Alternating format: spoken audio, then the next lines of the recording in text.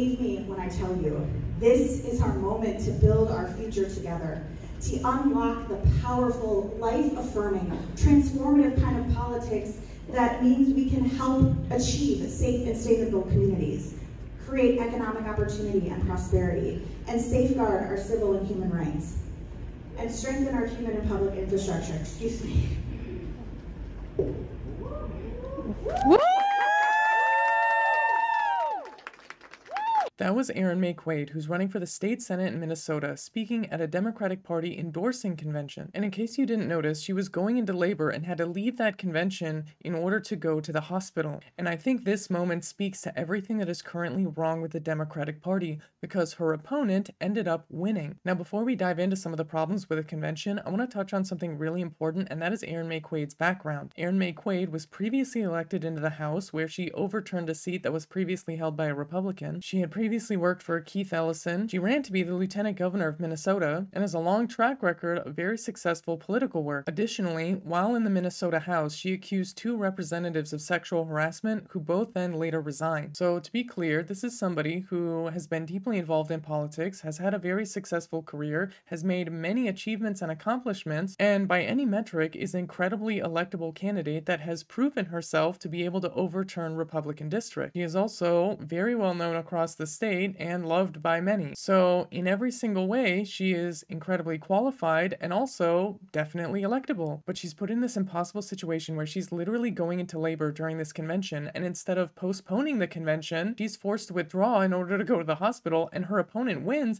And then, when her opponent wins, he does a victory lap on Twitter and does not even bother to mention that his opponent had gone into labor. This speaks to some of the worst aspects of Democratic Party politics, and it's something that I think that we all really really need to understand and talk about. The truth of the matter is, is that the Minnesota Senate already has a problem with misogyny. There were previous members of the Minnesota Senate that were in leadership positions that were basically in what you could call a good old boys caucus. Now, some of them had been removed from their leadership positions, and they actually put up a significant fuss about that fact. But that doesn't mean that the problem with misogyny in the state Senate is gone, and it definitely doesn't mean that the problem with misogyny in the Democratic Party is gone.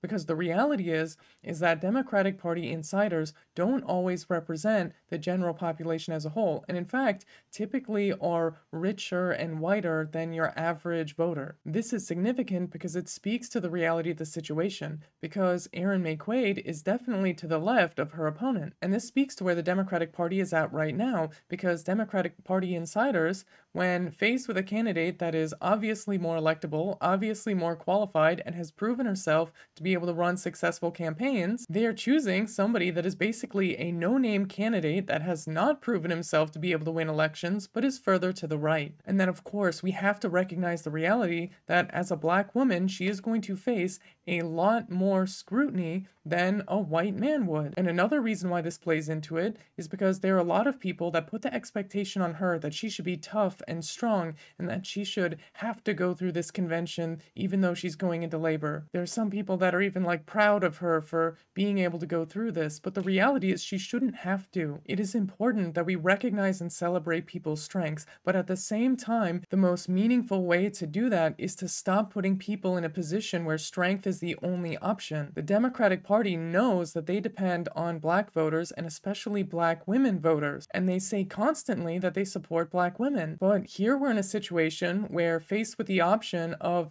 making life easier for a black woman who is running to be in the state senate, who would make a fantastic representative, instead of making her life easier and moving the endorsing convention, they go about it with business as usual and they put all of the expectation on her to accommodate them, even though, once again, she was going into labor. And this also speaks to an inaccessibility issue. With the caucus system that Minnesota has and these Democratic endorsements, it excludes a lot of people. And the Democratic Party in Minnesota was facing a lot of backlash for not sticking with virtual conventions. Because in the first pandemic conventions, they actually had virtual conventions. They proved that they could do these things over Zoom. And it was an incredible success. A ton of folks who normally are disenfranchised from the caucus process were able to participate in a way they hadn't been able to before. People who are disability rights advocates had celebrated it and then demanded that that be the norm for the future because their inclusion is absolutely critical if we want to cover disability issues. Instead of having a real conversation about disability issues, the Democratic Party